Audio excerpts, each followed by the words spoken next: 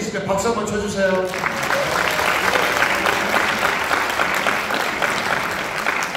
네, 매번 매번 결혼식 때마다 똑같은 멘트인데 아, 어머님 두 분 오늘 또 역시 같은 미용실 그다음에 아, 같은 한복집 다녀오셨습니다. 아, 너무너무 아름다우십니다. 자 신랑 신부 어머님 입장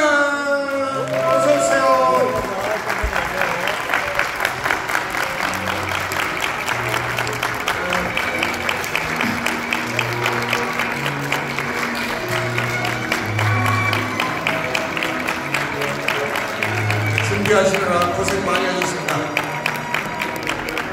이제 아드님 따님 결혼 보내시고 축복할 일밖에 안 남았어요. 화촉 점화 있겠습니다.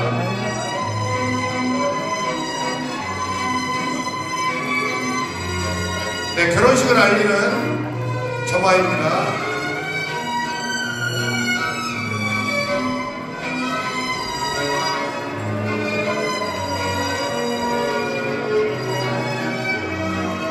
네, 원래 처음에 화촉이 점화가 처음에 잘 안 되면 정말 잘 사는 거래요.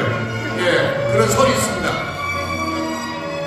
안 되면 저 빌려주시고.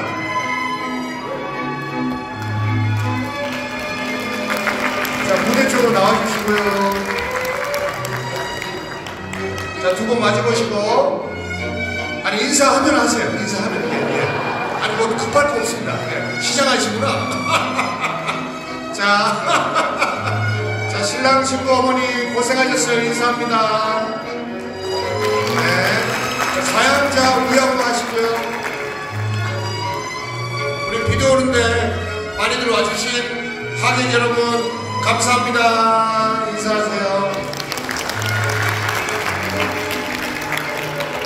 자, 자리로 해주시고